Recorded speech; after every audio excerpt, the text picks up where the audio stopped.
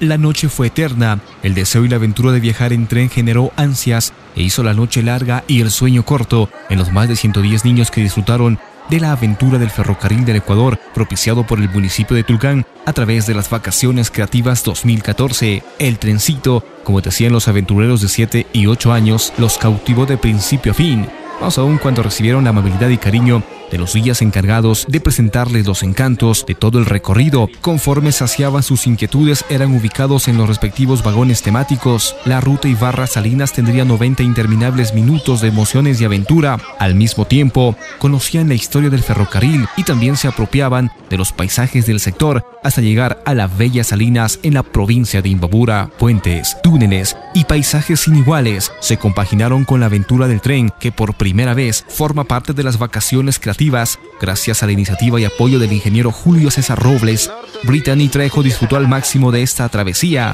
Cuando pasamos por los túneles, porque así se hicieron oscuros. Para Daniela Portilla de 8 años, lo más sorprendente fueron los puentes, los mismos que tenían 75 metros de altura y 95 metros de largo. Bonito, chévere. Los túneles y los puentes. Un saludo para ingeniero Julio Robles. En el viejo tren de madera que data de la década de los 30. Su reconstrucción, según los guías, se trabajó con piezas originales para no perder su encanto. Después de varios minutos de recorrido, el sonido del tren cambió por los ritmos afroamericanos, ya en la estación de Salinas, a la cual llegaron a una velocidad promedia de 30 kilómetros por hora. A los peques les llegó la hora del baile y como cortesía de la casa, todos disfrutaron de un aperitivo tradicional, jugaron en un parque infantil. El ingeniero Rolando Rodríguez, coordinador de la ruta, felicitó al alcalde de Tulcán por permitir que sus niños descubran nuevas fronteras. Yo pienso que es una iniciativa bastante dable, bastante positiva, ya que permite que los niños en su tiempo libre de descanso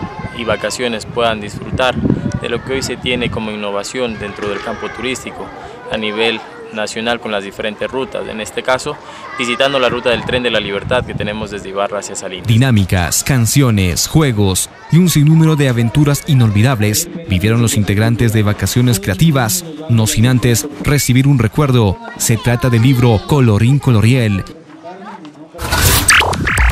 Sí podemos, Tulcán. Avancemos.